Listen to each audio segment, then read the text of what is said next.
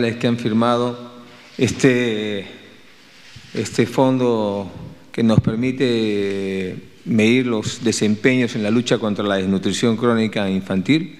Los felicito porque uno de los grandes problemas que tenemos en el país es el tema de la desnutrición. Y eso eh, nos afecta particularmente a, las zonas del interior del país. Y acá están representadas todas las regiones que tienen eh, una gran eh, porción de su territorio, áreas rurales. Por lo tanto, la lucha contra la desnutrición crónica infantil es una lucha en la cual todos tenemos que unirnos, más allá de las eh, las tiendas políticas, más allá de los temas eh, coyunturales de elecciones. Esta es una alianza del Estado, todos juntos. Por eso está acá eh, Anita, nuestra presidenta del Consejo de Ministros, está Midori, que tiene a cargo la cartera de salud y que tiene una, una, gran participación en lo que es la lucha contra la desnutrición crónica infantil. Está el director de presupuesto, Rodolfo, que pertenece al MEF y que poco a poco lo estamos sensibilizando también para que se ponga la camiseta de la política social, ¿no? Eh, lo vamos a mandar al INCOR para que nos testifique que sí tiene corazón. ¿no? Entonces, eh, es importante eh, entender que en esta lucha uno de los pasos fundamentales es los programas de saneamiento, agua potable, ese es fundamental, porque nuestros hijos en el campo están acostumbrados a tomar agua de río, que es el agua entubada, y que viene con una serie de, de problemas para la salud. Justamente el primer paso en la lucha contra la desnutrición es el agua. Por eso, como gobierno, vamos a apoyar todo lo que sean proyectos de agua potable, y en ese sentido, los programas como Foniprel y otros programas eh, que tenemos son orientados básicamente a las necesidades básicas, ¿no? a lo que es eh, el agua, desagüe, eh, la vivienda, lo que es en algunos lugares las pistas y veredas, pero no voy a apoyar plazas, no voy a apoyar monumentos, eso se acabó. Y, y los felicito porque ya no me presentan ustedes, también son una una primera línea de batalla contra esos eh, alcaldes que quieren hacer el monumento al zapato, el monumento al sombrero, el monumento a, cualquier cosa en el monumento y me gastan la plata así. ¿no? Eh, y, también el otro tema es el invocarles al buen uso del canon, ¿no? porque tenemos que eh, reflexionar el tema del canon, porque tenemos 12 regiones hermanas que tienen canon y 12 regiones que no tienen canon. ¿no? Y ese es el gran problema que tenemos, ¿no? que no ayuda a, construir igualdad. ¿no? Y hago recordar de que el subsuelo es de todos los peruanos, la propiedad del subsuelo es de todos los peruanos, la propiedad del suelo, sí, cada región tiene y cada municipio tiene su propia jurisdicción, pero lo que hay dentro a kilómetros en el, subsuelo, eso pertenece a, a toda la nación y por lo tanto tiene que beneficiar a toda la nación. Dentro de este aspecto, les cuento anécdotas como cuando visité eh, un distrito de una provincia cusqueña que tiene mucho canon y que tenía algo de 4 a 3 o 4 mil habitantes, no tenían agua y desagüe, pero tenían un palacio municipal eh, en frente y la mitad de esta casa de gobierno. Y su colegio no tenía agua y desagüe, pero a dos cuadras se habían hecho dos hectáreas o una hectárea cercada donde tenían una piscina, eh, estaban construyendo una piscina temporada, temperada a 4.200, 4.300 metros de altura, ¿no? Estaban construyendo eh, una cancha de fulbita techada, eh, y una pérgola para tirar sus traguitos después del, después del fulbito, ¿no? Eso con plata de canon. Entonces ya yo le he dicho a ese alcalde, ni te me acerques porque no te voy a dar ni un centavo para eso, ¿no? Y espero que no haya sido elegido, porque la verdad que eh, no podemos mal utilizar la plata del canon.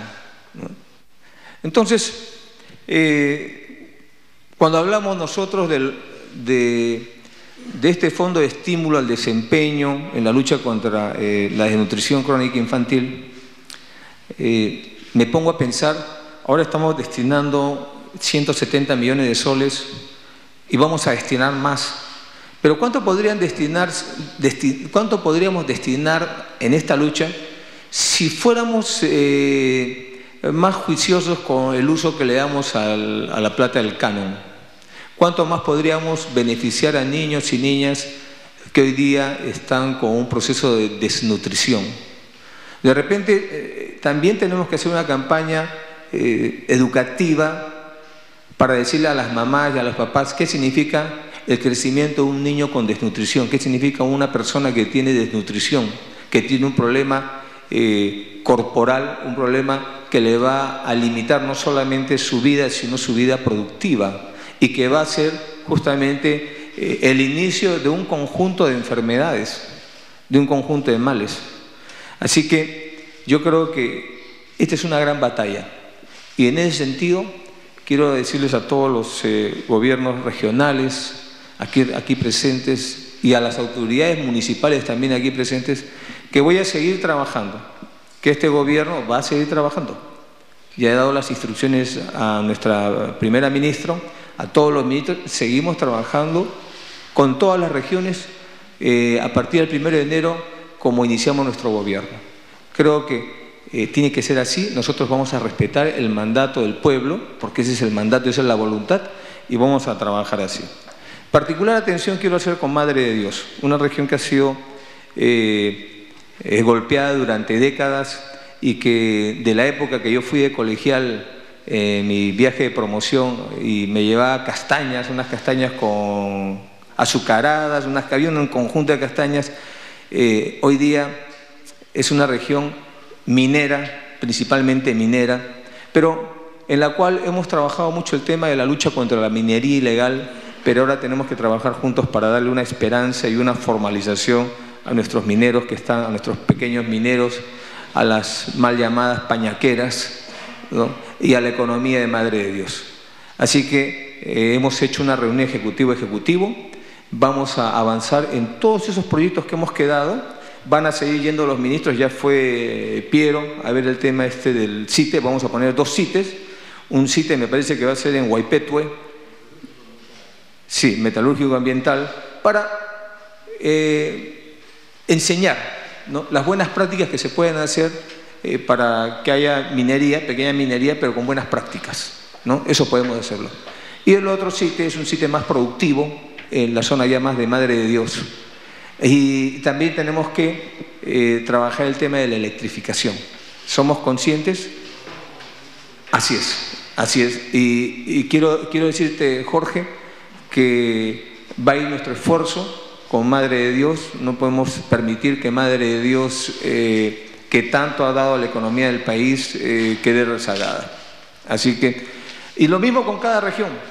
Felicitar a cada uno de ustedes, eh, a Maciste, que ha venido cumpliendo la lucha contra la desnutrición y ha hecho de Huancavelica, le ha dado un cambio, así como Elías en Apurímac también. Eh, y cada uno de ustedes que ha venido trabajando en sus regiones, ¿no? en Puno, en Ucayali, Piura, que he estado, anteayer creo que estaba en Piura, ¿no? inaugurando unas pistas, el aeropuerto de Talara, está ahí la, refinería de Talara, eh, el proyecto de la eh, longitudinal de la sierra y otras carreteras más que nos faltan trabajar, Javier, y con cada uno de ustedes, con Pepe también, ¿no? Eh, el trabajo este del hospital, falta ahí inaugurar un hospital y conectar Trujillo eh, o Tusco con Tocache, me parece que es, por el abra Calemar, me parece que es por ahí. Así es, tenemos que trabajar eso. Eh, hicimos nuestro Consejo de Ministros Descentralizados en, en Bolívar, ¿no? Sí, que es eh, una, una, provincia muy bonita, me he quedado gratamente impresionado. Eh, y así, con cada uno, eh, con cada uno de ustedes, René, con Cusco, que obviamente es una región bendecida por, por, el turismo, por la, la, belleza de sus provincias, ¿no? ¿Perdón?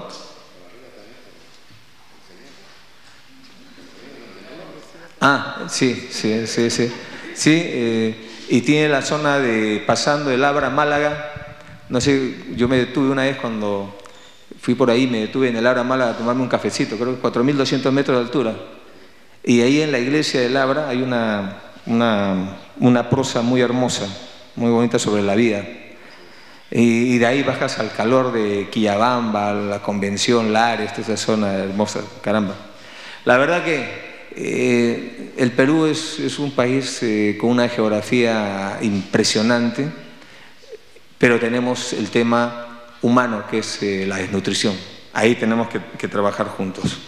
Por eso es que esta, suscripción coincide, Paola, con lo que es el, tercer año de vida del, del Ministerio del Desarrollo y de la Inclusión Social, donde hemos trabajado una serie de programas, por ejemplo, algunos ya estaban hechos como el programa Juntos, pero lo encontramos en 350 mil beneficiarios aproximadamente, y ahora me parece que ya superamos los 800 mil, debemos, estar más o menos 820 mil, contrario a los, eh, algunos eh, eh, técnicos que dicen muchos, muchos, muchos, muchos, bueno, es que muchos pobres, mucha gente que necesita su programa, ¿no? Llegamos y no había pensión 65 en el país, lo hemos creado, ya tenemos aproximadamente 420 mil adultos mayores eh, que están recibiendo esta pensión no contributiva.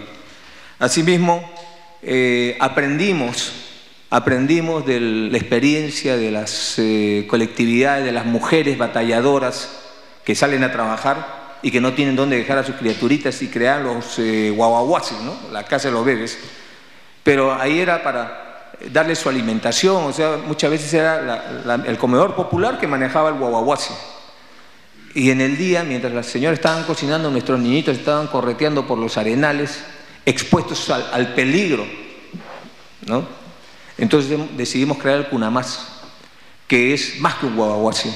¿no? Ahí eh, los cuidamos, les damos la estimulación temprana, les vamos haciendo el seguimiento de su peso, es importante eh, en un bebé eh, el, peso, la dimensión de la cabeza, del fémur, etcétera, cosas que los médicos mejor que nosotros conocen, ¿no? Entonces, eh, todo eso lo vamos haciendo y vamos orientando a sus mamás ¿no? de cómo deben cuidar mejor a sus bebés. Asimismo, creamos el programa Jaliwarma, ¿no? porque antes había el antiguo PRONA, pero que daba un plato, un plato diario durante 90 días nada más, me parece que era así a los escolares, y no a todos. Hoy día le damos a 2.6 millones de niños y niñas y vamos a ampliarlo a la secundaria en las zonas amazónicas. Entonces, ojo, ya hemos firmado la, la norma para las regiones que tienen comunidades nativas en la Amazonía, porque también era un tema este, ¿no? de que las comunidades nativas muchas veces no tienen DNI, por lo tanto no tienen acceso a los eh, programas. Ahora estamos eh, trabajando eh, con RENIEC, tenemos que apurar a RENIEC, tenemos que ponerle las pilas, que ya está avanzando, en darles DNI a los niños y niñas de las comunidades, a fin de que puedan también ser beneficiarios de programas como Juntos, como Jaliwarma, y también en la secundaria tenemos que darle el jaliwarma, la alimentación. Y son programas que hemos venido aprendiendo y que gracias a ustedes, señores presidentes regionales, este programa viene teniendo éxito, porque si se acuerdan, los primeros meses querían, algunas cosas eran ciertas y otras, otras cosas no eran ciertas, porque había también intereses económicos en tumbarse Jaliwarma, porque detrás de de los programas de alimentación hay grandes empresas que mueven millones de soles vendiéndole al Estado alimentación. Entonces, claro, rompimos ese esquema y hubieron pues eh, gente que no estuvo contenta. Pero la gente que sí está contenta son nuestros hijos y nuestras hijas que comen su, eh, en zonas de extrema pobreza, están comiendo dos platos al día. Así que eso tenemos que seguir expandiendo y aprendiendo, que se involucren los padres de familia, que se involucre el director del colegio, que se involucre la comunidad, el alcalde, ¿no? que se involucre el gobernador, que haga su trabajo ahí el gobernador chequeando que esto, este programa vaya bien porque es un programa que estamos entregando al pueblo. Así también tenemos Beca 18, que es un programa de inclusión social que nos ayuda a darle oportunidades de estudios a niños y niñas, jóvenes que terminan la secundaria y pueden hoy día acceder a un estudio superior en el país o fuera del país. Empezamos de cero, hoy día tenemos más de 30.000. También hemos creado el Fondo de Inclusión Social Energético, FICE, que es un subsidio cruzado para el balón de gas. Y en paralelo estamos haciendo las conexiones de gas para que ya hoy día sea una realidad el gas barato.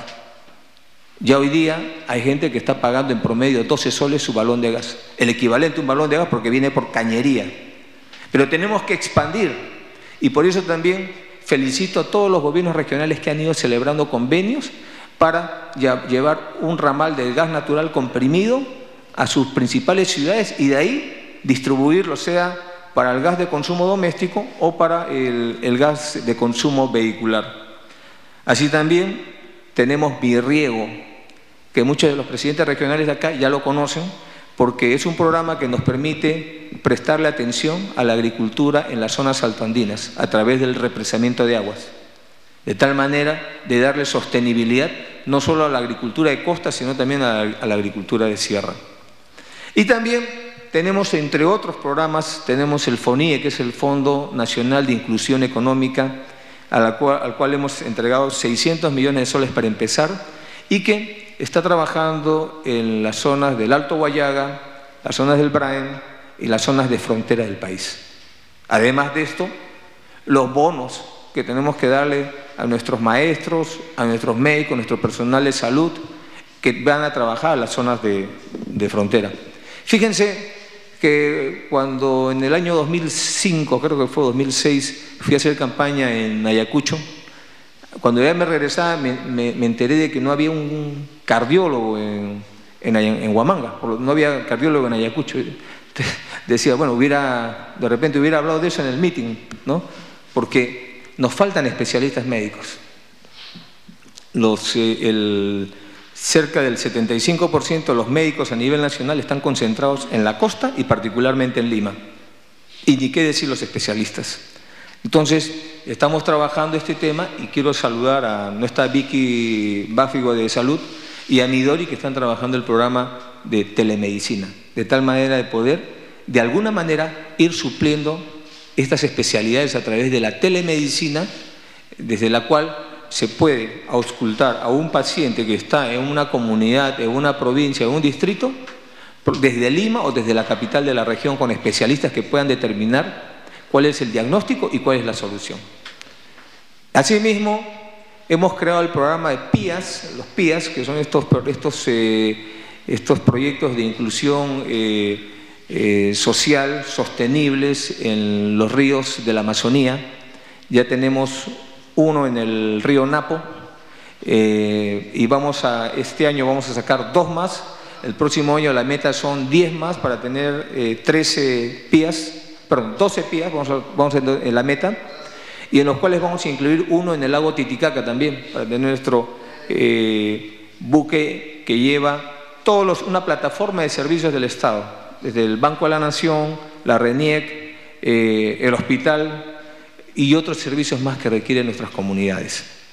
Así también hemos creado el programa de tambos, que ya tenemos más de 400 tambos en diferentes zonas del país y que se constituye en una plataforma de servicios para luchar contra, las, eh, contra el friaje y, contra, y para darle otros servicios a las comunidades que no tienen la oportunidad de viajar, de salir a la capital del país y simplemente estarían en desventaja. Entonces, son un conjunto de acciones que venimos tomando y que poco a poco queremos ir trabajando más con, las, con los municipios. Por ejemplo, ayer, el sábado, estuve en Codo Pozuzo, en la provincia de Puerto Inca, en Huánuco, inaugurando el programa de Guaros. Y hemos cruzado ahí el Pozuzo eh, con un caudal tremendo. Lo, hemos, cruzado en un guaro de aproximadamente 120, 130 metros de, de orilla a orilla. ¿no? Eh, ¿Cuál era el guaro que ellos tenían antes? Tenían una tipo una, una, cunita, una cuna donde iba una persona sentada y a la mucho podía llevar a alguien, a su criaturita abrazado, y con las dos manos tenía que pasar el cable. Hoy día le estamos poniendo un guaro que puede cargar eh, siete personas con bultos, estamos hablando más o menos entre 700, 800 kilos, y que eh, tiene las seguridades, no es, una canastilla, es, una, una cosa, un casco más estructurado, y eso resuelve el problema. Así que ya les he dicho, quiero mil de estos y quiero distribuirlos en las diferentes regiones porque a veces un guaro puede, puede ser más importante que un puente o una carretera en una comunidad. Entonces, creo que tenemos que mirar hacia el país. No solamente sentarnos en nuestra oficina con aire acondicionado o con calefacción, ¿no? Y con tu cafecito y mirando el Perú conversando con los ministros. No, hay que hablar con los gobiernos regionales, con los alcaldes, hay que tener no solamente una mirada sectorial del país, sino una mirada eh, territorial del país. Eso es lo que nos hace profundamente humanos. Luchar contra la desnutrición crónica infantil nos hace profundamente humanos. Yo creo que cambiarles la vida así a los jóvenes que hoy día puedan tener el acceso a una mejor alimentación, a una mejor agua, a mejores cuidados, es profundamente humano. Ese es, eh, es lo mejor de la política, es eh, ponerlo el corazón, ponerlo los buenos sentimientos en favor de los que confiaron en nosotros. Creo que es lo mejor y esa es la, la forma como se debe hacer la política en el Perú. Así que yo los quiero felicitar por estos convenios. Creo que Paola seguramente nos va a dar gratas sorpresas, eh, no solo porque está esperando un bebé, no solamente por eso, ¿no? sino porque todavía le faltan firmar otros convenios más del, eh, del FET. Así que Paulita está combinando su, su maternidad con su trabajo, como tiene que ser. Muchas gracias a todos ustedes. Bien, las palabras del presidente de la República,